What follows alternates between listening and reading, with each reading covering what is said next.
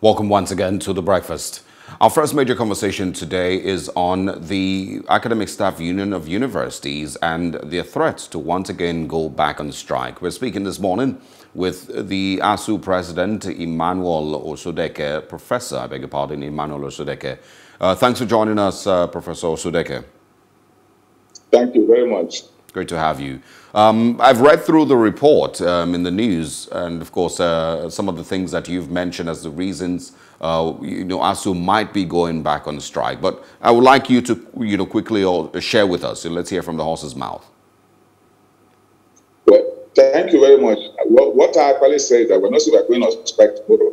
what we said was that government gave us the end of this month to um, ensure that all the issues that we're having problem with are resolved.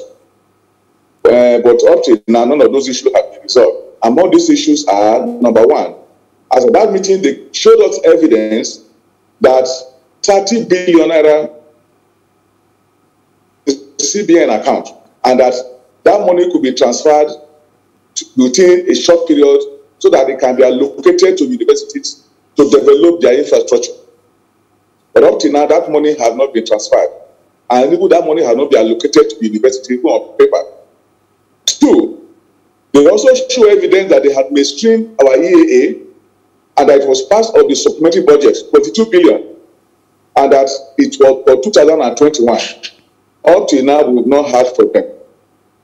On the third one was that issue of uh, uh, UTAS, our University Transparency and Accountability Solution, which we believe is a good alternative to IPPIS that creative problem within the university system. They indicated that there's only one thing left, and that is that there's a need for us to demonstrate the UTAS to the end users, which are the Boston unit of the university and the registry, which we did more than two weeks ago. And up to now, we have not heard from the NITDA, who is supposed to do the test. When in 2019 to early 20, when we were on strike, they promised that within a very short period, these UTAS will be available, will be will be tested and approved, and it can be used for the payment of university salaries.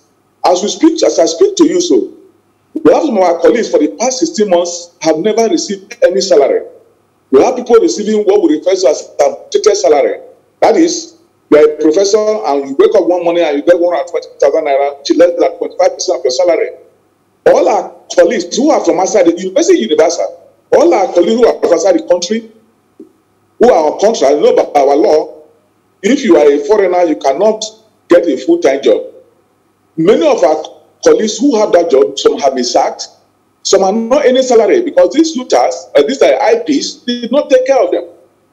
And the, when you go all over the world, you enter university, one of the one of the index, one of the indices for ranking university is the idea that is global, that you have people who are from all over the world working in a university. But in Nigeria, we're even going to a village.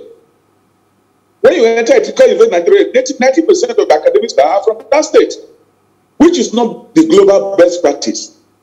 Till today, we've not heard from them. We also have the issue of, of a state university. If you find out the, the proliferation of university, the governor just wake up one morning, take a paper to the National Assembly, and within two or three days, four universities are created. And these governors who cannot fund one they have, where is, is, is that, that how university should be? So we also talk about that there's a need to have a stringent measure put in place by National Assembly to ensure that you don't just wake up and start a university in your village and you go. The next government comes and start another university in the village. So that's another one also. We also discussed the issue of um, uh, this visitation panel, that there's a need to release the report as quickly as possible. Those are some of the issues we discussed. And then finally, we also discussed the issue of renegotiation between ASUU and federal government. The last time this agreement, this settlement we are using today, was approved in 2009. As of 2009, a professor earned more than 2,000 naira per month in Nigeria, two to 3,000 dollar per month. Today, a professor earns less than 800 naira, 800 dollar per month. How can you attract the best brain if your salary is less than 800 dollar per month? And that's what if you look at the doctors, they are living. No, so, sorry, sorry, so, Prof, Prof, can you can you take that again? You said in 2009, a professor earned how much? In 2009, the, the salary of a professor is equivalent to about between two and three thousand US dollar per month. Two to three US dollar per month. Today is less than eight hundred dollar per month. Like eight hundred dollar, you can convert it. A, a typical professor earns about four hundred thousand. When you multiply four hundred thousand by five hundred, for example, as exchange rate, it's less than eight hundred. Would that sustain this system? Can we be one of those the best university in the world? You have such salary. Can we attract best brain? So that is the problem. The team with the stop. Up till now, we had a discussion with government, we had a negotiation with their team, and we are reached a conclusion in May. Up till now, the government had not told us they went to the principal with the government to give them permission to sign that agreement. But up till now, we've not heard a word from them.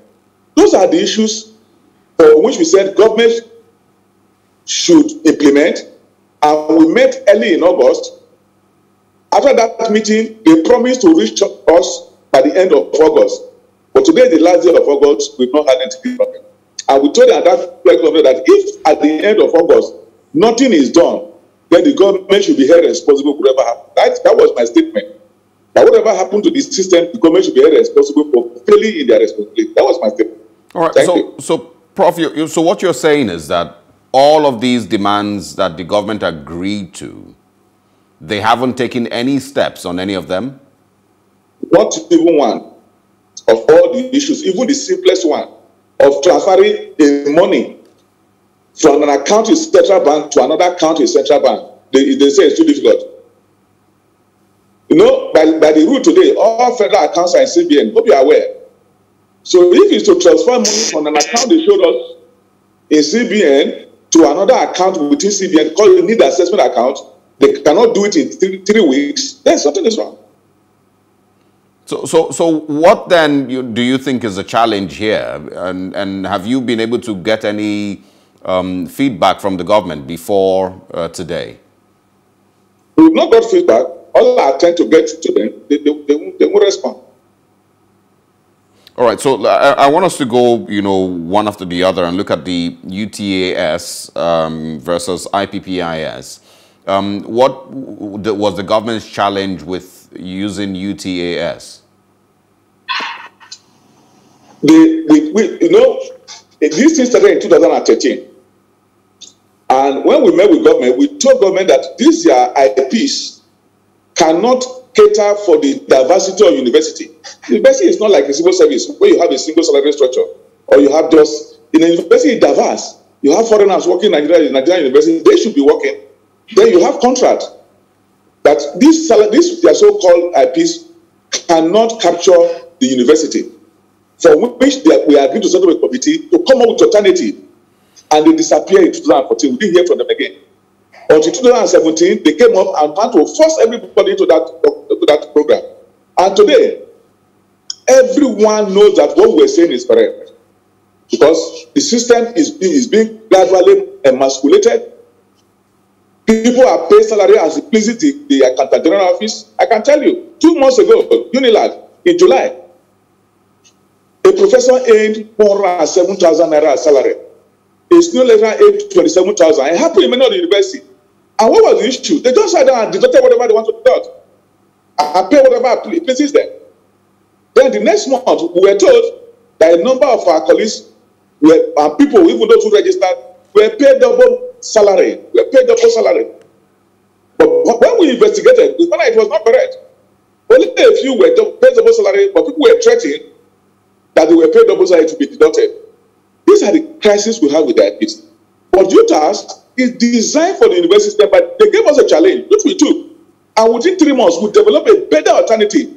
We have tested this alternative at the National Assembly to the Senate President. We have shown, we have developed, we have demonstrated it to the Accountant General Office. We have demonstrated it to vice chancellors and registrars and bosses. We have also demonstrated it to the to the bursary unit, staff in charge of payroll in postal unit, and personnel in, uh, in, uh, in the registry. And nobody has complained about this program. It's homegrown, it will cost nothing. It's free for this country, made in the Nigeria. Not this one, the, the IP that is made outside the country. All our data are sent to their to their to their, to their, their to their domain in outside the country, which is not done anywhere in the world. And that's created so much problem in the system, you can check. Even the, the, the, the, the, the, the doctors and what have you, everybody has nothing to do with that is. The civil service even. But the, everybody is being masculated. No check. People are being recruited uh, uh, uh, without the call to the center. And what have you? It's a big, it's a big crisis, and there's a need for government to look at our homegrown program and use it for the system. We shouldn't be begging the foreign people all the time. We have the brain. And our brain can develop whatever you think of this country if we are challenged. But this country prefer to go out and get some people from there to develop whatever pleases them at their own rate, and we pay heavily. Nigeria is paying heavily for IPPIS, very heavily, and which is unnecessary. When yeah. you can do something in your country, and there are checks and balances. In IPPIS, there is none. I can pay you what he likes. Who is checking them? But if a university pays, there, should, there are checks in the system that will ensure that what universities do with are, are controlled. But now there's nothing. All it's right. just I can The people who pay, how do you pay it, how much you pay. Okay, and now I, I, want us to, you know, talk um, also on uh, one of the things that I noticed or I read in the report. It says that the federal government has stopped taking ASUU's calls. Who, who has ASUU been calling in particular? Well, I think that's I just press uh, something, but we made calls, made calls to the, to the minister, made calls to all of them. So I think that I just just off the line. So which of the ministers are you are you referring to now? The Minister of Education. Okay, and uh, there, there's no one picking uh, the calls there or returning your calls. Like I said, like I said, those ones should not be the issue now. Yeah, no, I just wanted to clarify. To, you know, I just wanted to clarify if that was. Uh, today, if at the end of today they did not respond to us, then we will, we will know what to do. Okay, and now um, you mentioned 30 billion naira investment development fund. Um, you know, I, I, believe that's the same as the revitalization fund that was uh, mentioned. Yes, uh, yes. Uh, yes okay. Yes. Um, now, what are the what are the true demands, and why does ASUU need 30 billion naira for infrastructure development, um, while the universities are still earning from school fees and and and whatnot? Thank you very much. The 30 billion is not for us. It is for the Nigerian university yes. system. Yes, the absolutely went to the university. Let me, let me, maybe look at the background. As we speak today, our universities are not well funded. In 2012, the federal government set up a committee, its own committee to go around the university and look at the state of infrastructure. And that committee gave a report, we need assessment report, that highlighted the problem in the system. We have a university today that's at that time, I think you see there, where chemistry, they are using Bunsen burner they are using stove as Bunsen burner. Have university where you have 16 students in one room, in one room as hosted. And each of the students have to have a, have a stove. All right, seems we've lost uh, Professor Osodeke, the, the president, uh, Academic Un um, Staff Union of Universities, ASUU. Um, the conversation is really about uh, the, well, talk about going back on strike um, at the end of today, the 31st of August. Um, the professor says that the federal government has not, you know, gone uh, forward with some of the promises made in the last memorandum of action that was signed. Uh, that includes a revitalization fund, the 22 billion naira that was also promised uh, to the um, um, uh, union and to lecturers. Uh, Prof, can you hear us now? I'm hearing you. Are you hearing okay, me? Okay, brilliant. Yes, yes, we can. Welcome back. Go ahead, please.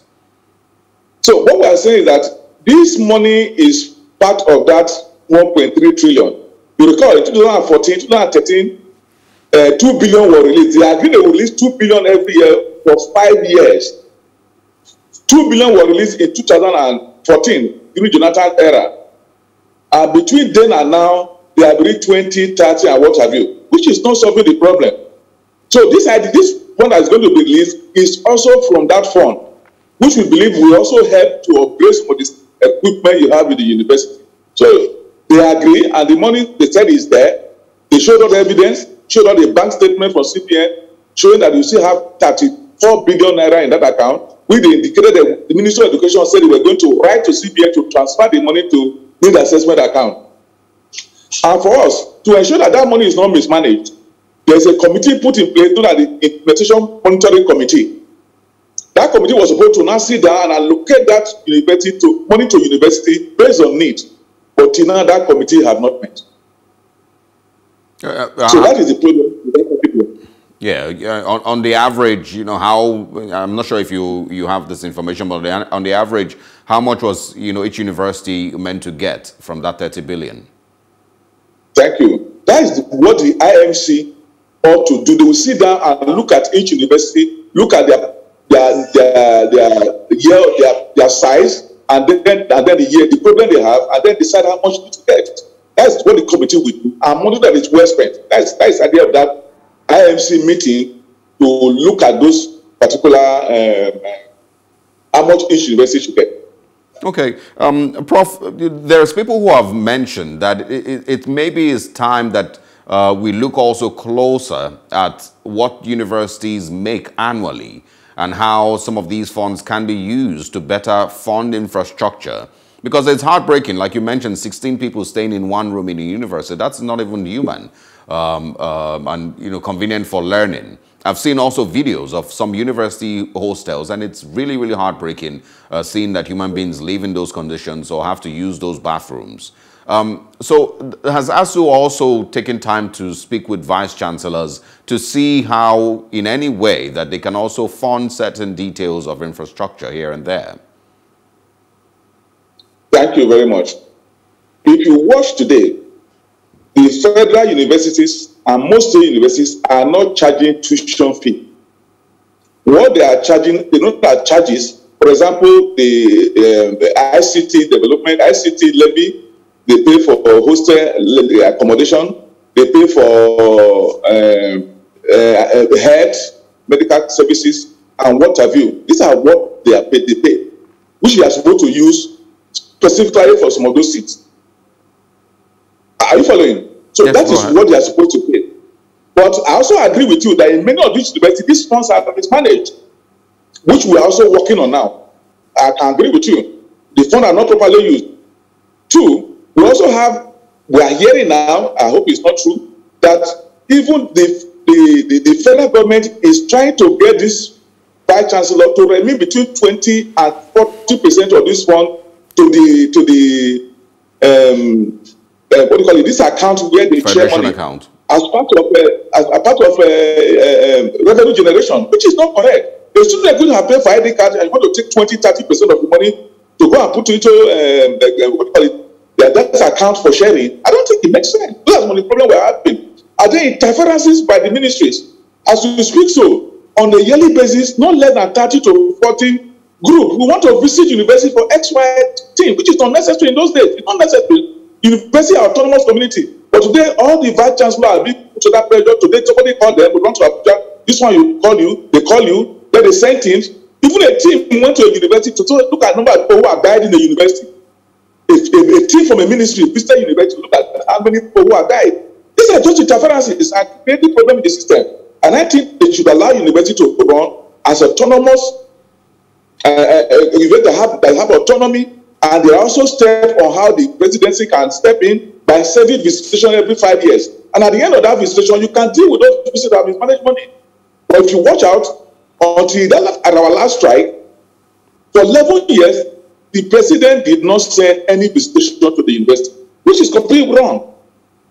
So if these checks are, are, are, are implemented as they are stated in the law, we will not have the VC mismanagement. But I can assure you, We're also working on that as a senior, and we're going to let you know in future. But then we're doing investigation in many of the universities, the fund house also business uh, money. Yeah, before we move on, I think it's important that that conversation is had. Um, because if those things are not checkmated, then, you know, Nigerian students will continue to, of course, bear the brunt of these, you know, bits of um, uh, mismanagement here and there. Uh, Vice chancellors have a lot of questions to answer. It's pretty much the same thing with uh, CMDs in, in uh, hospitals across the country um, with regards mismanagement of funds. But ASUU, I, I, hope that you know you can get um, with that. Um, some other thing that I want to answer, um, ask you, and these are just ideas. Hopefully, we'll get to speak with the government um, sometime this week and get their own side on why they've not been able to fulfill the promises made in the memorandum of action. But some other thing that I want to ask is, you know, um, um, uh, Prof, I'm sure you've also looked at universities outside Nigeria and see how they also derive funding. You see a lot of universities doing very, very interesting research, being able to sell courses, um, um, uh, online courses, and a person in, in Ibadan, you know, can attend an online course from Yale or from any, any, any part of the world. Where do you think Nigerian universities are also failing with regards being able to self-fund and, and generate income for themselves uh, better. I, I don't know if they're working enough on, on new ideas with which they can fund themselves, they can generate income um, for the university. Thank you very much. This is actually one of the outcome of that need assessment report. You see, the, where we are today in the world, you need well-equipped laboratories to do meaningful research. To do meaningful research that will be accepted what a Bunsen burner, if you apply for a grant, you do that laboratory, will you get a grant?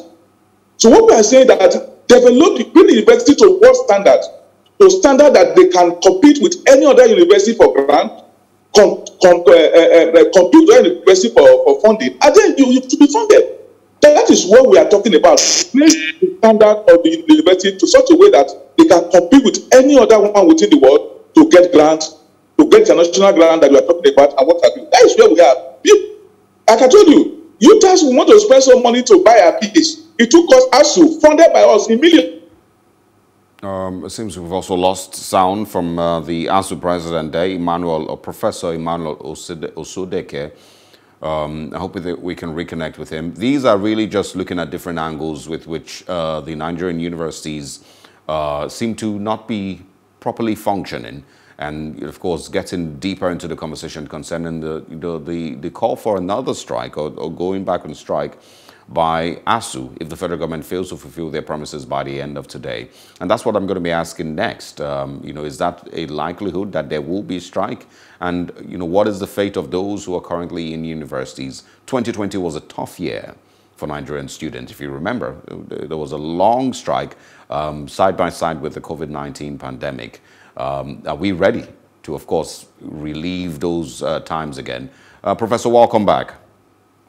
Thank you. All right, so now I, wa I want to speak about, you know, what happens after today. What is the likelihood of ASUU once again downing tools uh, after uh, midnight today if the federal government does not respond uh, to your calls? Thank you very much. You know, you know our friends in the press. I, you know, my press conference, uh, my speaking with the media, I'm not saying we are going on strike tomorrow. I never. What I said is that if at the end of this month federal government did not implement what they told us on the 2nd of August that they will implement, then the country should hold the government responsible. And in my, you know, you know, we don't just wake up one morning and go on strike. It's a process starting from the branches up. So it's not, we are not going to just say tomorrow we'll start a strike. It, we, our union will don't behave that way. But our organs will start meeting. We're starting meeting by, by, by, by 10. We're going to start some meetings and we'll look at the issues. Then we'll take it off from there. We didn't say we are going on strike at the end of the month. I've never used such words. Okay, uh, thanks for clarifying that, and uh, that, that's also a very interesting point uh, that you've made. Um, I, I, also want your thoughts on uh, Nigerian students, um, who, of course, went through a very, very torturous 2020. Uh, uh, the strike, and of course, combined with the COVID-19 and some of all of that, a lot of them have had their um, graduation years delayed, you know, longer than they should have. Um, I, do you have concerns as the president of ASUU for these students? Do you have also do you have students who, or children rather, who are currently in Nigerian universities? Thank you very much. All my children are in public university. No two have graduated, but the other two are in public university. But let me tell you. Oh well. Uh, once again, um, of course, uh, every now and then we have to deal with these network challenges. Uh, we're speaking with the ASUU president, and I would really, really love to hear uh, his response to that question. Hopefully, we can reconnect with him soon. Um, what is the fate of Nigerian students from the third? Like he's just mentioned, that, that they're not necessarily going on strike today, But, you know, they would start discussions, you know, and from the third, you know, they would continue with those discussions and see what the next steps are uh, to be taken. Uh, will the Nigerian government respond? Will that money that is supposedly with the Central Bank of Nigeria be paid to the ASUU account or not? What is the next steps that needs to be taken with regards IPPIS and UTAS? Uh, these are some of the burning questions with you know regards some of all of this and how much better can the Nigerian government fund education, fund universities, put them in a better shape. Look at the state of hostels that Nigerian students live in. It is heartbreaking. Look at the level, you know, of infrastructure that is in the research laboratories across Nigerian universities, public universities to be precise. It is really, really heartbreaking. Um, and, you know, you can basically watch some of these universities, uh, you know, dilapidate. You know, you can see them break down over time. The universities that you see um, you know, that are, you know, currently you could call the pride of a nation 20 years ago. Um, but you know you can't find any of all that um, you know state of infrastructure in those same universities today. We'll take a short break and uh, we'll be back on the breakfast. Don't go anywhere.